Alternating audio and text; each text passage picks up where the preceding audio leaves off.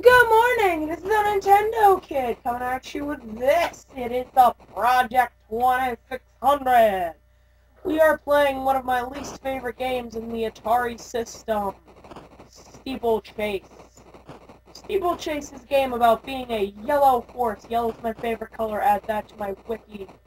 You're apparently this mounted jockey guy who is, like, physically attached to his horse. And you have to press right on the control stick to jump. And you get hurt if you uh, get your back legs into it, but you just keep going. Because, you know, when horses break their legs, you don't shoot them in the mouth or anything. Now, there's a couple problems with this. There's no way, right? You just go until three minutes are up, right? And on this mode, it's so easy you're gonna get to the front of the pack, right? Sorry, I have a little cold.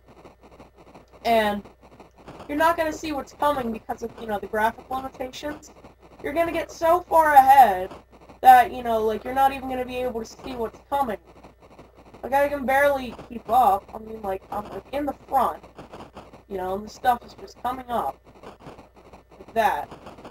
That. That. This. Like that that. I mean, Steeplechase probably isn't a bad game in any right, especially for its time. This is probably, like, mind-blowing. Oh. Oh, there is an end. Oh. Whoops. Oh, I'm gonna try to game select. Here we go. Number two. Bigger hurdles. Go. Ha! Yeah, so everybody starts at the same speed, of course. And in this one, the AI is much better. They obviously, you know, are a little bit faster than you. So you really can't mess up. This mode, you're probably going to be in the back of the pack. Pack, pack. Because uh, the middle two usually don't seem to mess up. It's like a combination of two that don't mess up, and there's only two because there's three when you're gone. So it's either going to be the top two. Yeah, see, it's a much shorter race. It's a lot easier for the AI to win, so we're going to try that one again. So, go! Steeplechase! Woo! I don't even know why it's called that. It should just be called horse racing. I mean, they call the sports games basketball. Why not just call this horse racing? You know? Like, I, I don't even have a clever title. That's how much this game sucks. I know the Moon Patrol was kind of bad, what I called that one. Conflict of interest while on Moon Patrol. You see, but I took the word patrol and used it as a noun. Like it's a person, place, or a thing, being a thing. Like, you know, you go on patrol to, to scope out anybody, right? And we're going to try I don't even know the difference in this one. I've never played Game Mode 3. And, you know, I was on Moon Patrol, right? Because I was the tank dude. And I was getting a conflict of interest. Go watch that video if you want to know what I mean. And I just looked at the screen to see I've dropped that many frames. But no, it's only the 4 or 5 that go at the beginning, so we're good. It's not going to be super lag patience. Oh god. Speeding up! Hitting everything in sight. It's not Grand Theft Auto, it's Steeplechase. It's only been four minutes? Oh god. I need to manage my time better. ah. ah. Try that one more time. Go! You can get an early start if you do that.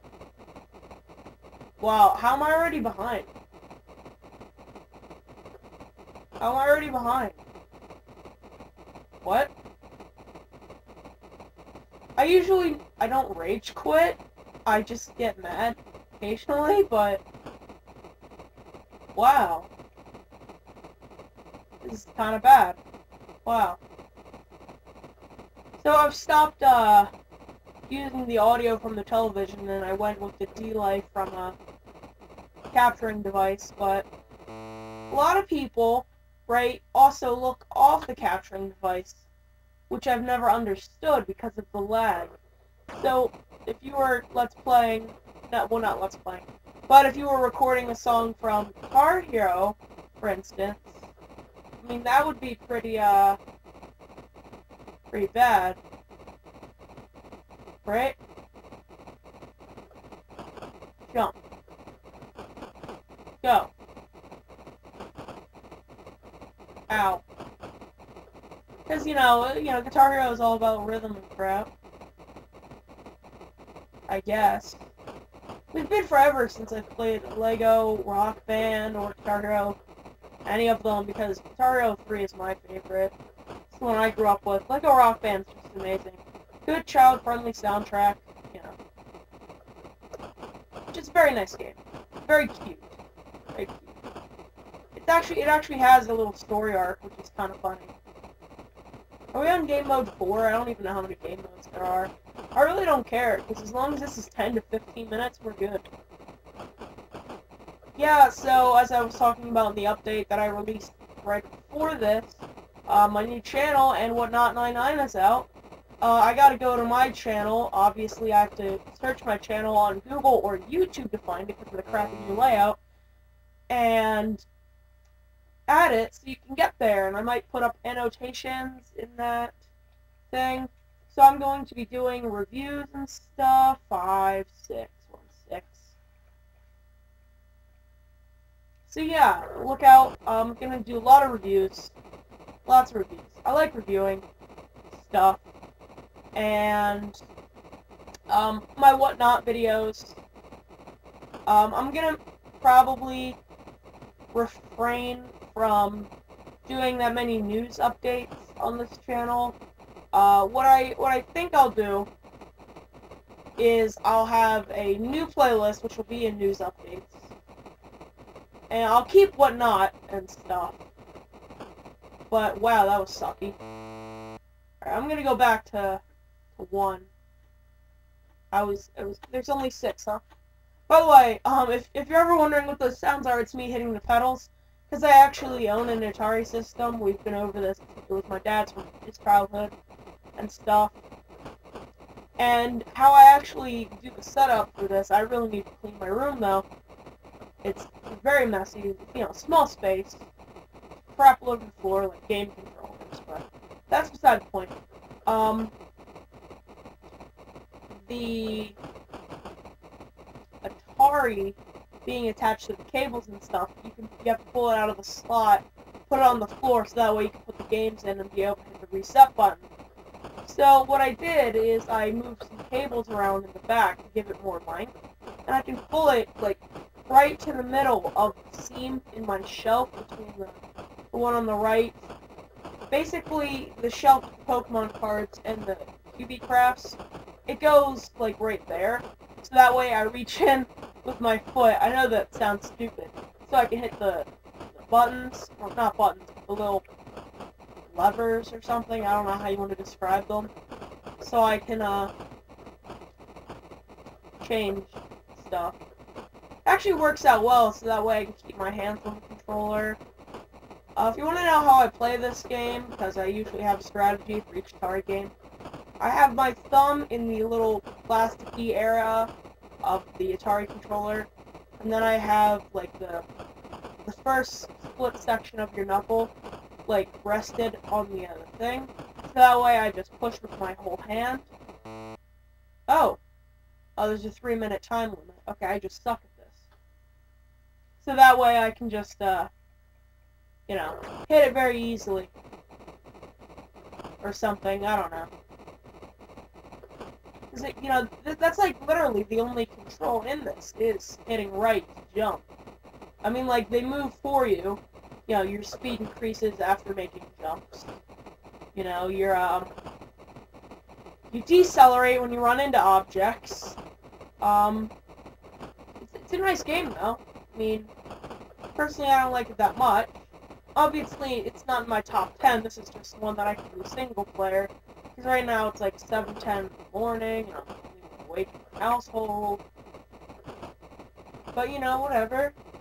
I'm itching my nose. Should have used my other hand. Ah. Uh, ah, this sucks. This sucks. I should make myself a wiki. That sounds lame, but I should probably do that. Would you guys like to try to make me a wiki? John Cavan, looking at you. John, John, John, John, John. Bro, bro. We need to have a comment war.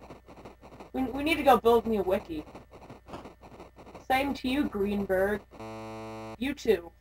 And me, we're gonna... We're gonna rule the empire. As YouTuber, YouTuber. Two of them are Let's Players. One of them does random stuff. About being Mickey Mouse. And stuff. No, no annotations. That's just not how I roll. That's just not how I roll. Uh, yeah, but probably to John Cavan. Um, go check him out. You know, he's, he's very nice. Nice child. Very nice person. See, it, it's good to know that there are nice people in the world, though. Very nice.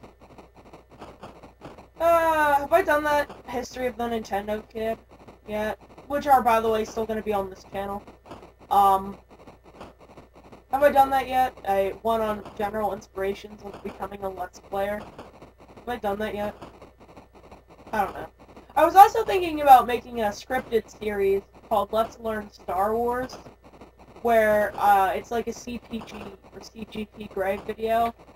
You know, like fast talking with nice pictures, kind of a thing, where I I try to teach certain things in the Star Wars universe.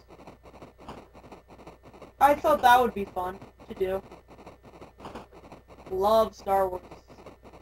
I spend like half hour reading one article because they're so long, and then from there you gotta go read about other things because...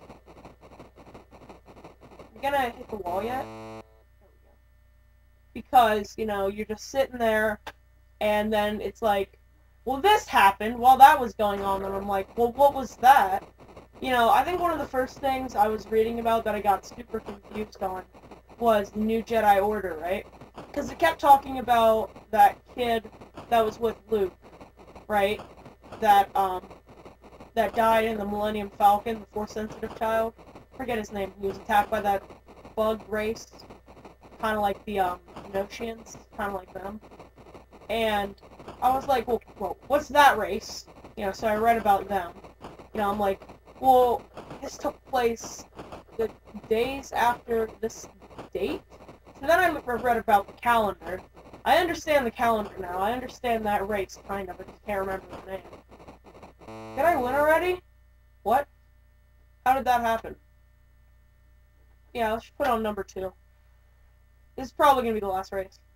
And then I'm like, I, I was all all over the place reading about that. And then I then I had to understand the language, which is apparently like Galactic Basic, and it's like English. They use different characters, and like lots of races can understand it, but they can't speak it. Like some people taught the Ewoks to try to understand it, but they didn't. That's why C-3PO is basically just a translator. That's all he does, pretty much. And R2-D2 is an astromech. That I've known for a while. Crap, I fail. And, you know, it's it's all lots of interesting stuff. Lots and lots of interesting stuff. Uh, there's so much. Oh, you know, speaking of Star Wars, so Disney recently uh, acquired the rights to that, so they might be making a 7, 8, and 9. Which, um, not, I'm gonna throw this out here. Um, obviously I was just talking about it, but there's, you know, uh, not canonical events. Canon would be my first episode of Let's Learn Star Wars. Canonical events, right, in the Star Wars universe that take place after the end of episode 6.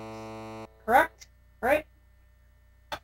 So I don't know what Disney would do about that, because those movies would then become, like, either clashing canon, or they'd be an overruling canon, because if you've ever read the book series X-Wing Rogue Squadron, you know, that's officially canon. This stuff, we believe, takes place in the Star Wars universe. We know this. You know, those are characters that exist in the Star Wars universe. We know that, right? So Ural Kurg and I don't know if he was made up beforehand or whatever. Like they used uh, Wedge Antilles. You know, he existed before that. Um, they used Viv Darklighter, uh, Zev Senesca. Why did I say Zev Senesca? He's like a bounty hunter or something. Wow, that was awful. They talk about Grand parking a lot. Very, very nice book series. Halfway through the first one. By the way. Yeah. So if you'd like to, to um, see me do Let's Learn Star Wars, post a comment below and what you'd want episode 2 to be about. Yeah. Racing. More racing. It's part 4 of um, Mario Kart Dobly Dash. Dobly. I'm gonna fail this so hard. And I will see you guys next time.